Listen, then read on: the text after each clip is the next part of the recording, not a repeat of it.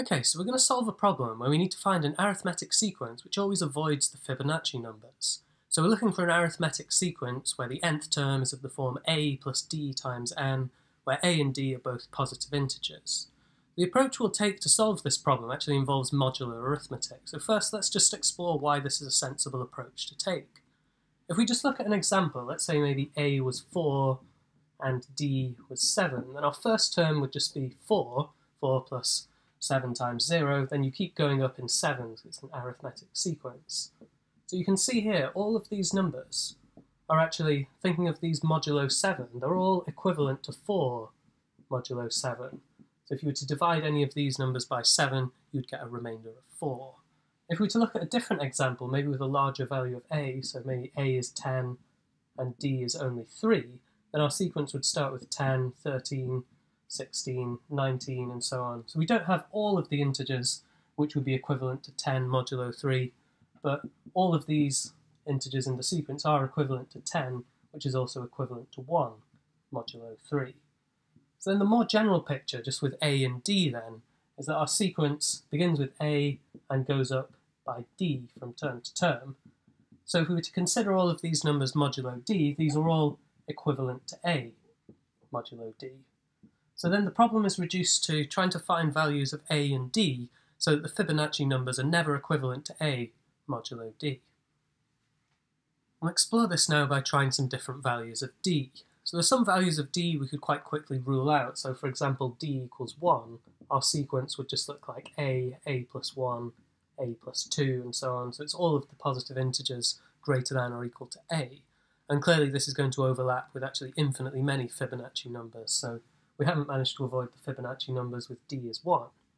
If we look at d as 2, then our sequence would be a, a plus 2, a plus 4, and so on. So if a was even, then we'd just have all of the even numbers greater than or equal to a, or if a was odd, then we'd have all the odds greater than or equal to a. But if we look at our Fibonacci numbers, let's say we start with 0, 0, 1, 1, 2, 3, 5, 8, 13, 21, and so on, it always seems to go even, odd, odd, even, odd, odd in a repeating pattern. And if we consider the Fibonacci numbers modulo 2, we can prove this. It's 0, 1, 1, then 1 plus 1, instead of writing this as a 2, we write this as 0 modulo 2. 1 plus 0 gets us to 1, 0 plus 1 gives us 1, and it repeats like this, 0, 1, 1. So you can see our Fibonacci numbers contain infinitely many even numbers and also infinitely many odd numbers. So unfortunately taking d as 2 isn't going to work, we'll always have some overlap there with the Fibonacci numbers. So let's try d equals 3, and we'll follow this modulo 3 approach now. So if we consider the Fibonacci numbers modulo 3, we'd have 0, 1, 1, 2, then 1 plus 2, instead of writing 3, we turn this into a 0, 2 plus 0 gives us 2, 0 plus 2 gives another 2, but then instead of writing this as 4, we turn this into a 1 modulo 3, 2 plus 1 gets us back to 0, 1 plus 0 gives us a 1, and we start to see there's actually some repetition here. And the Fibonacci numbers then, modulo 3, have this periodic behavior. And you can see starting from 0 and 1, this will determine how the rest of the sequence follows. So the fact that we've returned to a 0, 1 pair here determines how the rest of the sequence repeats from there. And you can see that we've got 0, 1, and 2 in this repeating pattern. So this is effectively telling us that let's try some different values of a, so maybe if you just had a was equal to 0 and your nth term was 3n, so all of your integers that are just a multiple of 3, unfortunately there's infinitely many of these because you've got infinitely many Fibonacci numbers equivalent to 0 modulo 3. So if you wanted to try 3n plus 1, you've also got infinitely many numbers equivalent to 1 modulo 3, so this won't work. And similarly, 3n plus 2 isn't going to work because you've got infinitely many numbers in the Fibonacci sequence equivalent to 2 modulo 3. If we tried larger values of a, so 3n plus 3, this is effectively the same sequence as just taking 3n, it's just shifted along by 3. So these are all effectively integers which are equivalent to 0 modulo 3. And again, this wouldn't work. And similarly for 3n plus 5 would be equivalent to 3n plus 2, and 3n plus 4 would be equivalent to 3n plus 1. So even increasing the value of a isn't going to help there. So we can see because the Fibonacci numbers contain infinitely many numbers equivalent to 0, 1 and 2 modulo 3, we can't take d equal to 3, so we'll need to try some larger values of d. So for d equals 4, we can consider the Fibonacci numbers modulo 4. We have 0, 1, 1, 2, 3, 2 plus 3 is 1, 3 plus 1 gets us back to 0, and 1 plus 0 gives us 1. So we see we have this repetition once again, since we've returned to this 0, 1 pair. And unfortunately here, 0, 1, 2, and 3 are all represented. So taking 4n as our nth term, or 4n plus 1, 4n plus 2, 4n plus 3, none of these would work, and similarly for larger values of a. So unfortunately d equals 4 isn't going to work. This will always have some overlap with the Fibonacci numbers. For d equals 5, let's consider the Fibonacci numbers modulo 5. So you have 0, 1, 1, 2, 3. 2 plus 3 gets us to 0. 0 plus 3 gives us a 3. 3 plus 3 is 1. 3 plus 1 gives us 4. It's not actually obvious if this is even going to repeat, and this could take us quite a long time doing this case by case for different values of d. But we can use the fact that once you have a pair, say for example 0, 1, this uniquely determines how the rest of the sequence is going to behave. And because we're looking at the numbers modulo 5, there are only a finite number 5 times 5, so there are only 25 possible pairs that can appear consecutively. So once we've reached 26 pairs of numbers in our sequence, the Fibonacci numbers will contain some sort of repetition of a pair, which means that they will eventually repeat.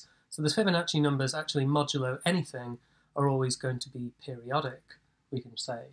So for d equals 5, we've got 0, 1, 2, 3 and 4 have appeared, and we also know that eventually this will loop back round and repeat. So unfortunately, d equals 5 isn't going to work either, so 5n, 5n plus 1, 5n plus 2, plus 3 or plus 4, all of these different sequences will have overlap with the Fibonacci numbers. So similarly for d equals 6, we consider the Fibonacci numbers modulo 6, 0, 1, 1, 2, 3, 5, 2, 5 plus 2 gives us a 1, 2 plus 1 gives us 3, 1 plus 3 gives us 4. So even though we haven't found the point where the sequence repeats, we've got 0, 1, 2, 3, 4 and 5 all represented here, and later the Fibonacci numbers will repeat. So unfortunately d equals 6 isn't going to work either.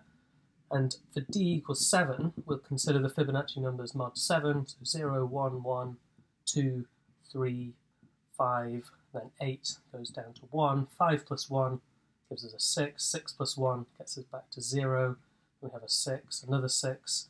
6 plus 6, 12 is equivalent to 5. Then 6 plus 5, 11 is equivalent to 4. So once again, we've got 0, 1, 2, 3, 4, 5, and 6 all represented here. So unfortunately, we can't use d equals 7 because then we'll have some overlap with our sequence and the Fibonacci numbers, whatever value of a we take.